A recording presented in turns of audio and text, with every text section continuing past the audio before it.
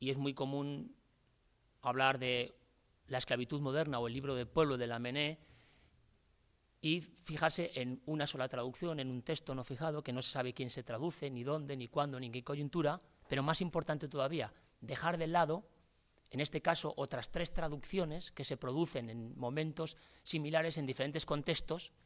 mientras que cuando mm, enfocamos el tema desde la perspectiva de la historia conceptual de las traducciones, las mediaciones y la circulación de textos, esto cobra una relevancia esencial. Porque yo creo que nadie duda que mientras que un texto en francés que circulaba en la época y todo el mundo podía leer, si no tuviera un interés específico y si no fuera una, como se ha dicho aquí, una mediación para una intencionalidad y, unos propósitos de ciertos grupos eh, políticos en diferentes contextos y lugares del ámbito iberoamericano, no tendría sentido realizar numerosas traducciones, circular, etc. Por lo tanto, en este caso, lo importante era mm, probar algo que bueno, yo empiezo afirmando y es que la Mené y todos, lo hablaba con Pablo, todos los que hemos trabajado la historia del pensamiento político en la España de mediados del siglo XIX, sabemos la importancia de la Mené porque nos lo hemos ido encontrando citado, eh, aludido reiteradamente. Una importancia además que no se circunscribe al ámbito español ni iberoamericano, sino que si ampliáramos el zoom, como sabe Mauricio, en Europa, eh, veríamos que en el contexto de los movimientos de lo que podemos llamar izquierdas o de culturas políticas vinculadas al republicanismo y a la democracia de los años 30, 40 y 50 en Europa, la MNE se convierte en un absoluto referente principal. Bien, a partir de esa constatación se trata de ver a través de qué textos, qué importancia. Y aquí viene un segundo escollo con el tema de la Mené. La Mené ha sido un autor, eh, sobre todo en esta etapa, de los 30 digamos, en que toda la atención historiográfica, sobre todo en el ámbito eh, español, en español, se ha centrado en una obra que es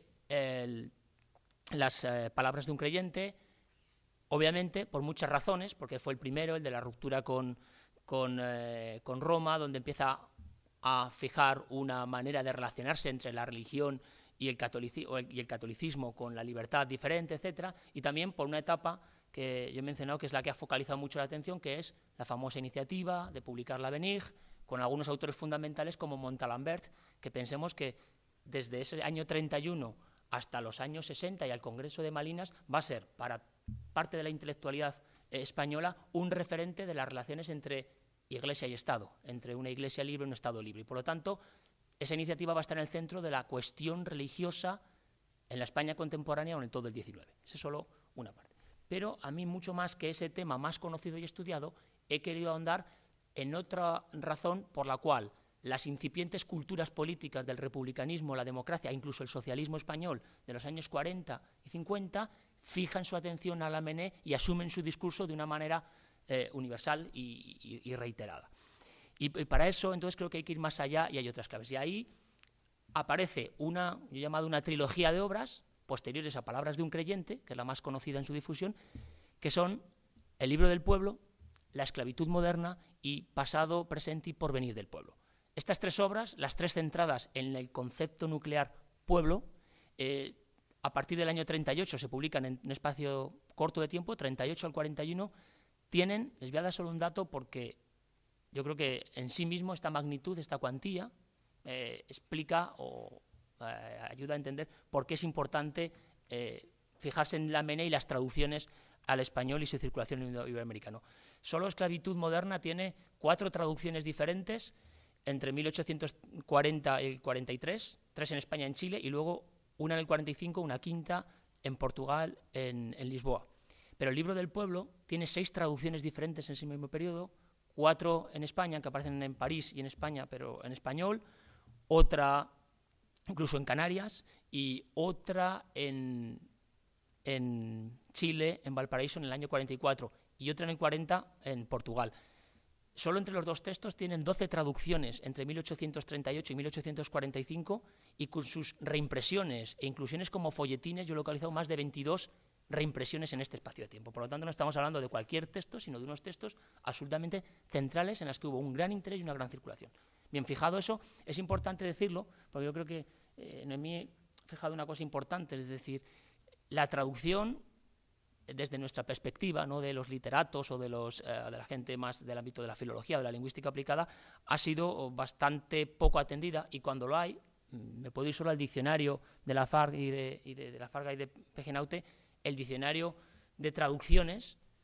por ejemplo, cuando se ocupan de la MNE, hecho por un artículo, por una autora específica, lo pongo como ejemplo porque es llamativo que ni mencione la esclavitud moderna y solo cite una traducción del pueblo moderno y todo el resto del artículo sobre eh, palabras de un caliente. Un texto como el libro de polvo que es nuclear y que hoy día tenemos herramientas para al menos fijar y saber las numerosas traducciones y, demás. ¿no? Entonces,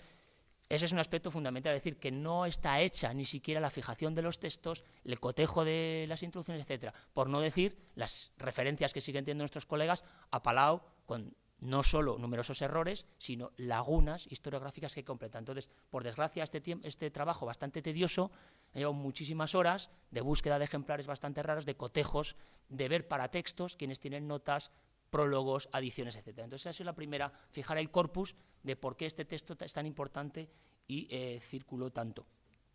Bien, el, texto se produce en un momento bueno, conocido. Yo había traído alguna ilustración porque también el pueblo, además de categoría, tuvo referentes y en el imaginario social de la época se fue plasmando en representaciones muy diferentes. Pero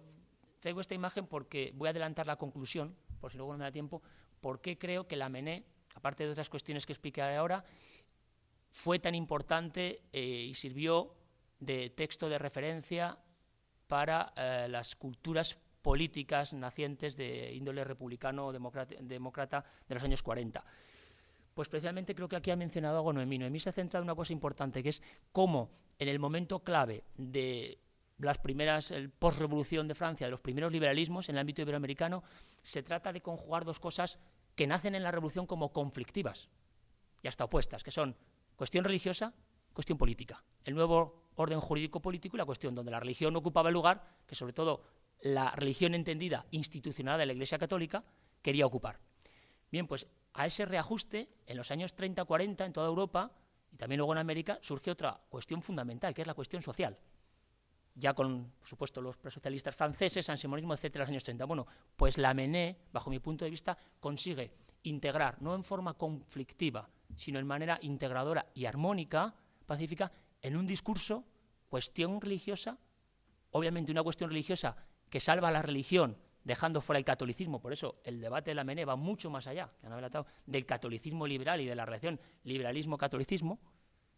porque precisamente la Iglesia y la religión piensa que lo que ha hecho es desnaturalizarse sus intérpretes, que son parte de esa oligarquía opresora precisamente del pueblo, y por lo tanto de la religión hay que rescatar el sentido original cristiano y centrado en la figura de Jesucristo. Por eso a veces se habla de un neocristianismo cristocéntrico, de este nuevo discurso que hace la MENE. Por lo tanto, va mucho más allá de eso. Eh, además de eso, lo integra en un discurso de los, de los mm, jóvenes demócratas, pero también, y muy importante, entra en la cuestión social. Porque la MENE, realmente la esclavitud del pueblo lo que va a decir es que la esclavitud se debe a tres motivos fundamentales. Un motivo, mm, un motivo doméstico, otro civil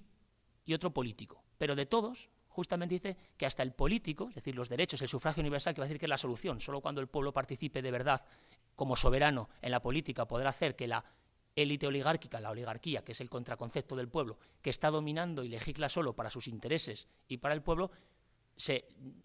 mm, pueda tener en cuenta las necesidades del pueblo y por lo tanto se dé esa igualdad a la que aspira. Pero esa es la cuestión política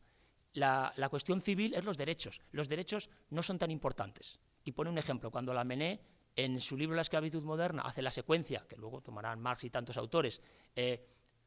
el pueblo ha pasado en diferentes fases en su vida, y él dice además, el, el concepto y la palabra ha cambiado de significado según se ha ido definiendo el estatus de la entidad pueblo a lo largo del tiempo, cuando era esclavo en la antigüedad, el hecho de la manumisión, para pasar a siervo en la Edad Media, no supone ninguna mejora.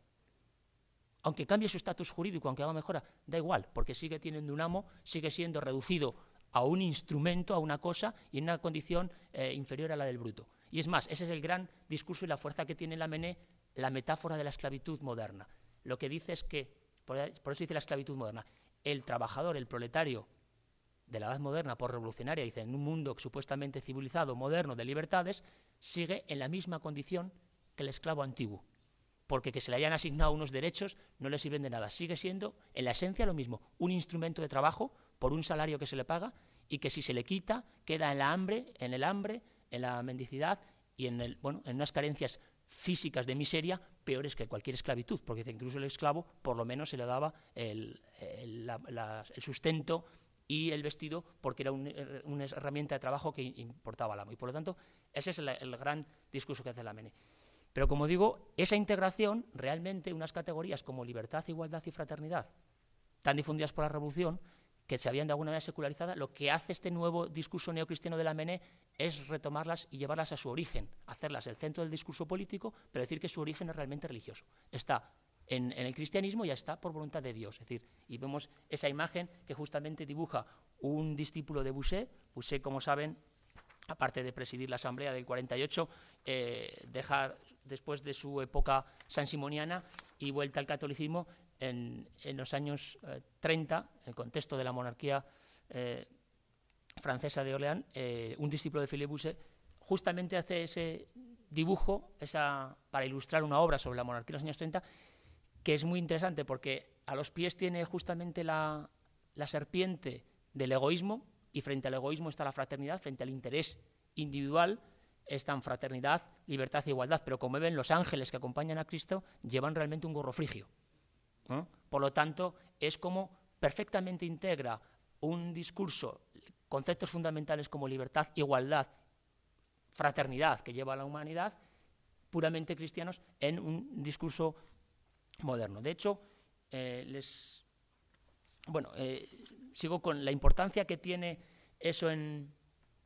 en la Mené, es muy grande y también, como se ha dicho, decir, ¿quién traduce y qué? Es decir, una de las pocas razones por las que recientemente, en 2014, en Chile ha tenido interés en la esclavitud moderna ha sido, igual que sucedía con Larra en el caso de las palabras de un creyente, ¿por qué? Porque Francisco Bilbao lo traduce. Y entonces eso nos pasa a los historiadores. Cuando ya un personaje que es un actor importante en los movimientos revolucionarios de independencia de la época traduce a la Mené, entonces nos parece que algo hay de interés y, esa obra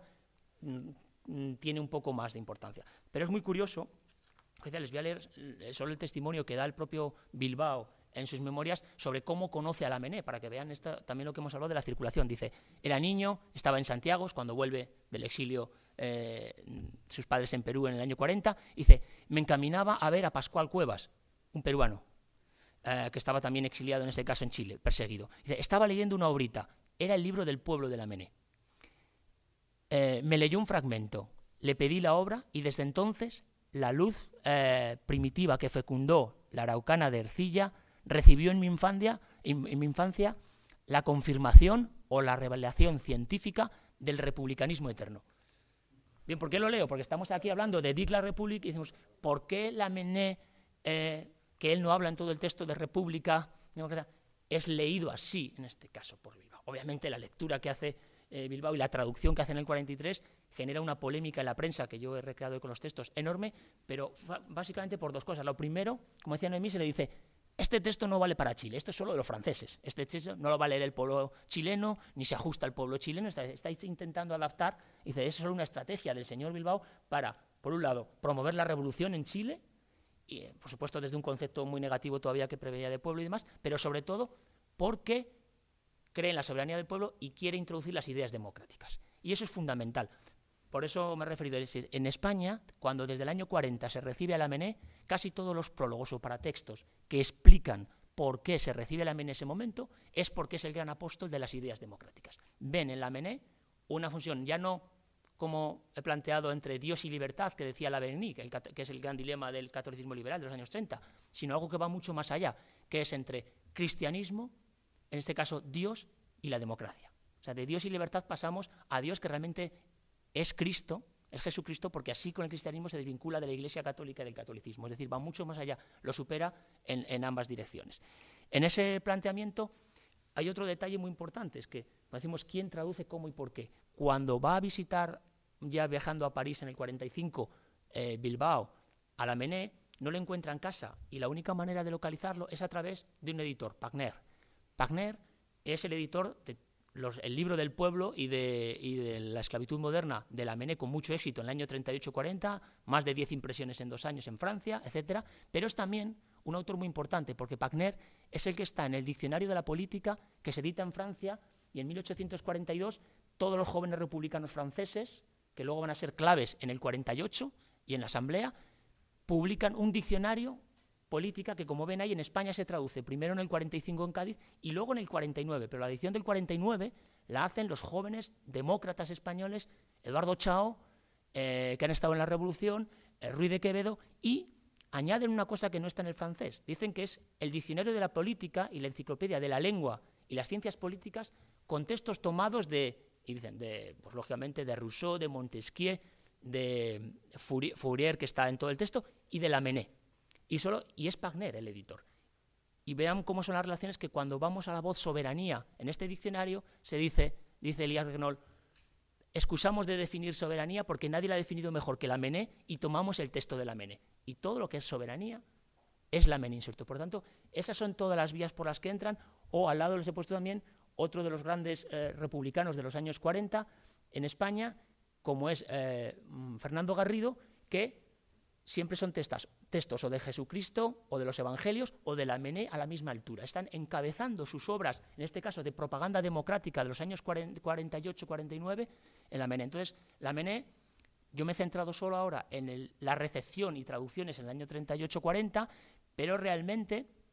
la Mené va a tener tres momentos en España. El de recepción de los años 40, del trienio parterista, cuando empieza a montarse los movimientos republicanos, la primera cultura republicana, etcétera, pero luego va a difundirse mucho, tanto en el año 54, en el bienio progresista español, como en el año 68, cuando de nuevo se editan sus obras completas y en ambos, otra vez, nuevas ediciones de la esclavitud moderna. Por lo tanto, entre el año 40 y el 68, las reimpresiones de, la Mené son enormes. Pero cuando vamos incluso a un texto clave del republicanismo democrático y federal español, como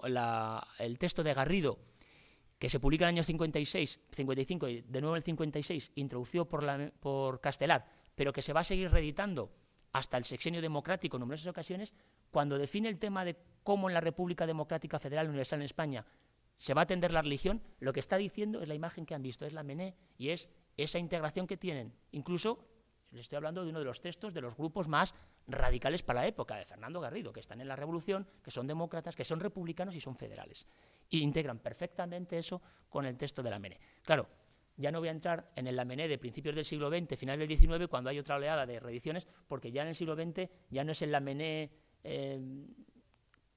bueno, apóstata de su, ah, de su, religión y demás, sino que en España, incluso en una versión cómic de vidas ejemplares, es un lamené ya muy recuperado, pero casi todo tiene que ver con el empuje que la democracia cristiana y el socialismo cristiano a principios del 20 ven en la Mené un antecedente de las teorías y de las doctrinas. Solo os he mostrado tres de las traducciones españolas de 1840 y una cosa muy importante en la difusión. Eh, en España, por ejemplo, en una de las ediciones se le pone un apéndice que es un texto que había aparecido en el Universal en 1834, que es justamente un texto de este periódico del año 34, cuando en España se está debatiendo justamente si hay, eh, si es justo que una parte de la población no participe en las elecciones por el tema del censo, la propiedad o las capacidades a la hora del voto, es decir, sufragio universal versus sufragio censitario. Bueno, pues en ese artículo muy inspirado también en ideas de, San Simón, porque casi dice que si elimináramos la élite de las oligarquías, pues eh, la sociedad seguiría igual y mejor, porque la base real es el pueblo, ¿no? El pueblo es el, no solo el virtuoso en el que contribuye con su trabajo, que enlaza mucho con esa caricatura francesa de la Revolución del pueblo eh, soportando a la sociedad. Bueno, pues en ese discurso del Universal, que se pone como apéndice, realmente se está diciendo que la clave en todo esto es cómo definamos la palabra proletario. Es a Javier le encantaría ese texto entero, porque es una edición de cómo proletario es una palabra denigrada y depende de a quién definamos proletario. Ese es otro de los grandes debates que va a tener. El contorno social del pueblo. ¿Quiénes están integrados en el pueblo? Como ven, yo he puesto en mi texto algunas reseñas críticas de las obras de la en las que se insiste mucho en qué es el pueblo realmente, cuál es el pueblo de la. Obviamente el pueblo de la Mené, lo que ahí lo que está diciendo es que entran los proletarios, los artesanos, porque el pueblo de la Mené es muy amplio. Aún no se ha fragmentado cuando ya el movimiento obrero en España se vaya consolidando y la idea de clase y el efecto de Marx, etcétera, vaya eh, singularizándolo en la clase obrera o trabajadora. Para la Mené el pueblo es muy claro, es todo menos la oligarquía, menos que son, él lo cuantifica, 200.000 personas en Francia frente a 32 millones de trabajadores. Todos pueblos, salvo esa minoría oligárquica opresora, que de nuevo va a la misma dicotomía, que luego cogerá más, oprimidos opresores, que es todo el pueblo.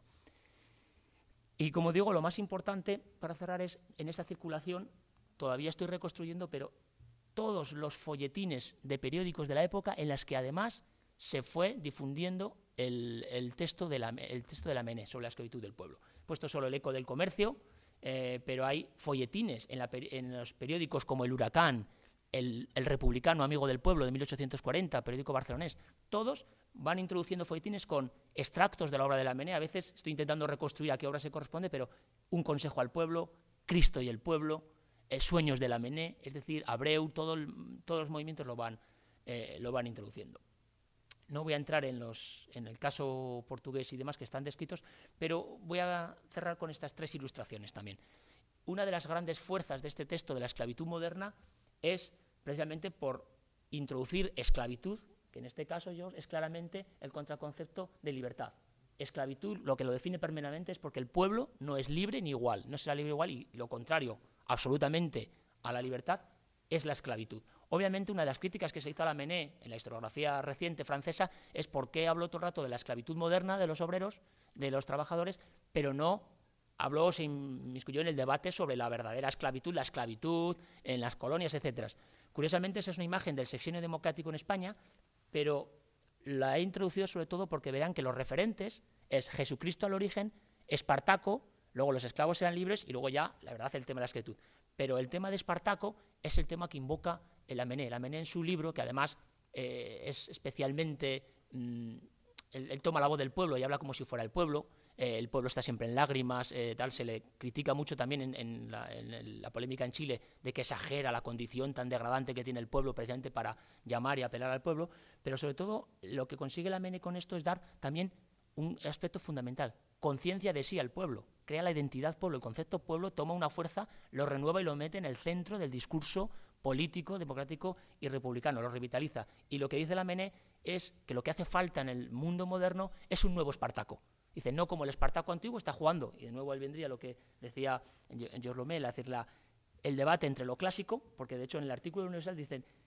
todo el mundo insiste en que en Roma y en Grecia eh, solo votaban los que tenían o participaban en las asambleas quienes tienen propiedad, intereses y, capacidad. Y, entonces todo el artículo es refutar que eso es falso y que realmente eh, todo pueblo, toda persona tiene interés en su patria, tiene interés. Es refutar las tesis clásicas y en este caso es lo mismo. Vuelve a la antigüedad y dice, Espartaco no tiene que venir con la, con la violencia a una revuelta. Está la segunda crítica que se hace a la Mené, es que describe un cuadro de lágrimas eh, de este del pueblo, pero que luego no es contundente en pedir una acción revolucionaria potente para cambiar la situación, porque él piensa que todo va a conseguirse con el derecho al sufragio universal cuando el pueblo tome participación y pueda, y pueda. Entonces, él dice que el Espartaco moderno, que tiene que venir a liberar a este nuevo pueblo esclavo, vendrá